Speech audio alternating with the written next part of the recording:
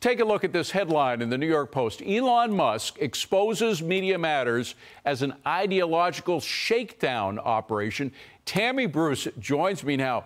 Tammy, you know, I love it when curtains are drawn and we see what's actually going on in the way people operate. And that is what Elon Musk is trying to do by this lawsuit, right? Yes, he's doing, but, and this is not the first time, right? Even taking over Twitter is he did that. Exactly. And then the Twitter files, right, revealing what's always been behind the scenes that the establishment, if you will, separate from partisanship, has relied on that kind of secrecy.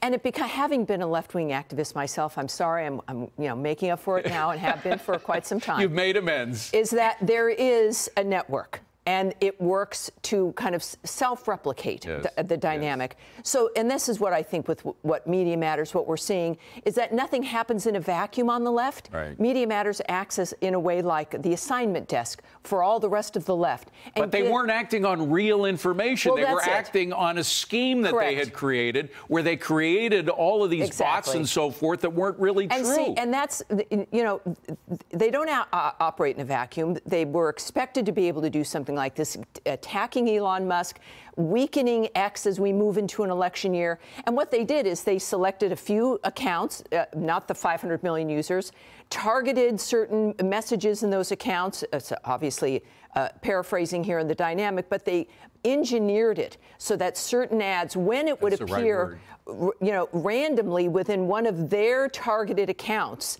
that that would then be their example of the risk to companies. And it, because it would, they would find, they found a way to engineer these exactly. these, these uh, bots right next to advertisers who Correct. then said they were pulling their advertisements from X. But now there's no excuse for them not to rescind that. Well, order, and right? also because it hasn't. It's like any scientific thing you engineer. Yeah. They haven't been able to replicate what happened yes. with what Media Matters reported.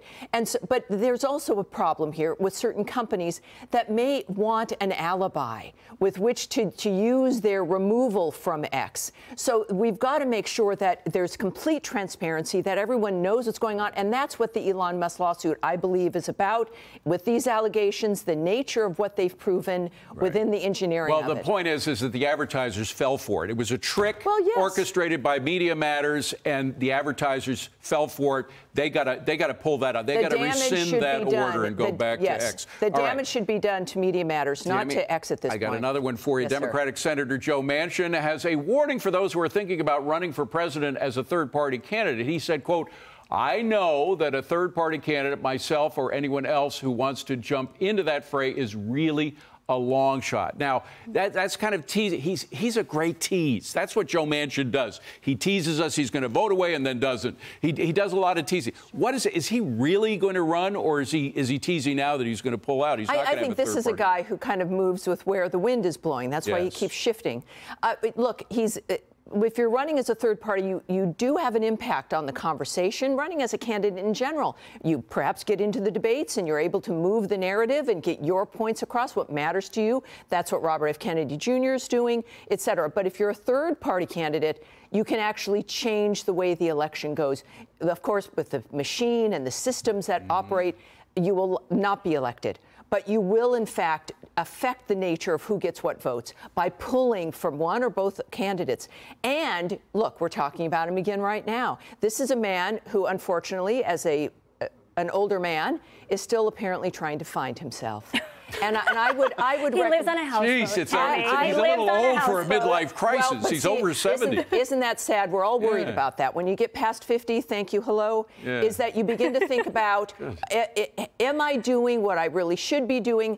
What you know if I didn't get my dream and then you become Joe Manchin yeah. and say you're going to run for president. Well, the bottom line is, by late. the way, Democrats are afeared because if he does run, he yes. you, you don't know about RFK Jr., but if he yes. runs, he will pull votes for Biden. So they do not he want will. him to run. He's not going to pull. If you are going to be willing and you are voting for Trump, like him or not, because of the condition of the country, it's not like you're clutching your pearls about is it Manchin or is it Trump?